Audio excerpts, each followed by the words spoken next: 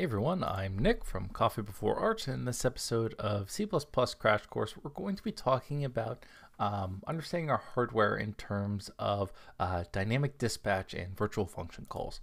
So let's go ahead and open up our example. And what we really care about here is what is the cost of something like dynamic dispatch um, and how does that relate to what the hardware is actually doing underneath? And how do we really understand what's going on when, say, we've got a big hit in performance? So We'll use a pretty simple example to get this point across, and we'll have this struct, right? And then we'll have uh, some inheritance, right? So dog will inherit from mammal, and we'll have a virtual function uh, get some number that will be implemented by each of the objects. So mammal will have its implementation. Uh, dog and cat both have their own implementation. So at runtime, right, if we go ahead and uh, call this function, right? It depends on what type of object we are. If we're a dog, we'll return 2, a cat 3, and then if we're the base class mammal, we'll, return uh, 1.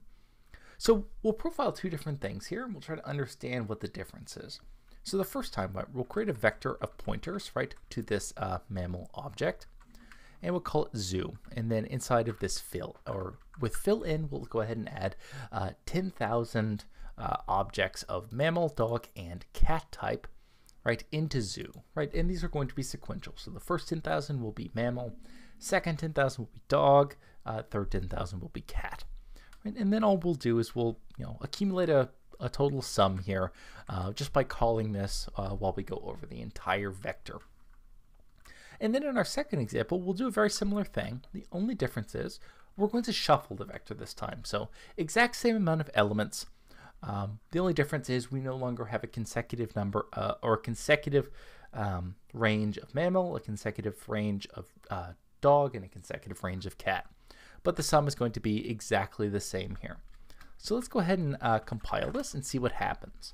So we'll do uh, G++, right? So this is with Google Benchmark, by the way. Uh, so we'll do G++, VF calls. We have to link again. Uh, let's go ahead and set the standard to C++ uh, 17 right? And then we'll link against uh, lib benchmark, right, for Google benchmark, as well as lib pthread 03, and then uh, let's just call it vf calls. Right, so, you know, before we actually run it, let's think about what's going on here. So technically both of the uh, benchmarks are doing the same amount of work, right? So they're both going to iterate over um, a consecutive set of 30,000 objects, right? So the vector's laid out linearly. Um, and then they're all just calling the exact same functions overall, uh, just in a different order. All right, so we'll go ahead and run it. And we see that VF unsorted is actually, you know, a whole heck of a lot worse than VF sorted, right? So let's under understand why this is. Uh, and the best way to understand this, you know, at least initially, is just to do uh, perf stat and see what perf stat's actually going to give you. So to do that, right, so we'll run this, uh, but we'll call perf stat on both the implementations. So we'll do um, dash dash benchmark uh, filter, right, equals VF. Sorted first, and then we can also set uh, benchmark min time equal to something like 3, and this just says how many seconds should I run this benchmark, right? So we can tell to run longer, that way we get, you know, a more accurate representation of what's going on. All right, so we'll go ahead and run it. See, it start, starts running, takes about, you know, three, five seconds, and we get some information here. So we get, you know, uh, the number of context switches, the number of page faults, cycles, instructions, so an IPC of about 1.56. We get the number of branches and the branch misses. So only 0.01% of all branches miss. It's pretty good. Okay. So um, the next thing we can do, let's go ahead and do it on uh, VF unsorted, right? So we just add un there and we'll compare them. All right, so after about two, three seconds, um, hmm, well that's, that doesn't look good. Whenever we see red, right, that's usually a bad thing.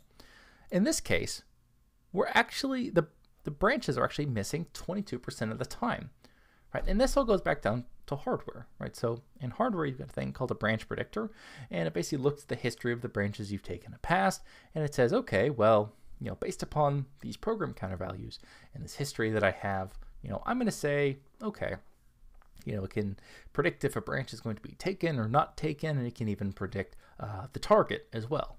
So in this case, you know, the branch misses we're getting is about 22%, which is, you know, way more than we're getting in this case, right? So, um, and the reason for this is because in the other case, we had a very predictable access pattern, right? So 10,000 for 10,000 times, we're going to be calling the virtual function um, for mammal and then for dog and then for cat.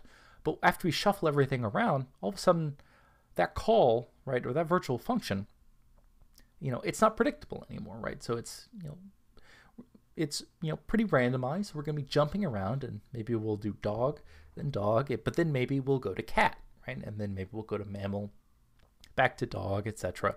And so because of this, right, we end up getting fairly uh, poor performance here, right? And so we go from getting about uh, you know 1.56 instructions per cycle down to 0.3 instructions per cycle, right? And it takes a whole lot longer to run, right? And we can even look at this at a bit more fine grain of a level. So we can say, you know, perf record, and we can look at that inner loop that's causing us so much trouble. So we'll look at the sorted version first, run it for three seconds, and then we can call perf report, right? And this will generate a report for us. And we see most of our time is here in this uh, VF sorted function. And then we see over here we've got the uh, virtual function, right? So get some number for dog, mammal, and cat, all taking about the same amount of time, which is about you know 6% of the overall overhead. Most of our overhead is actually within VF sorted itself. And we can go ahead and go in here and we'll zoom in. And here's our inner loop here.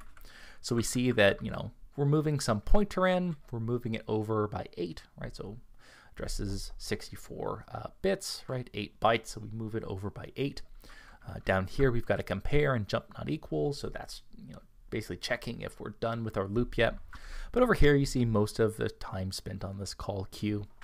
If we go to any of these other calls, right, we see that, okay, this move SS, right, so this is going to be actually getting the, uh, uh, this is going to be getting the uh, floating point number, right, that we're returning, eh, but most of our times here at this return queue. But we see a very different profile if we call perf on VF unsorted. So let's go ahead and run that, right? And then we'll call perf report after that's done, right? So remember, most of our time is in that VF uh, sorted function.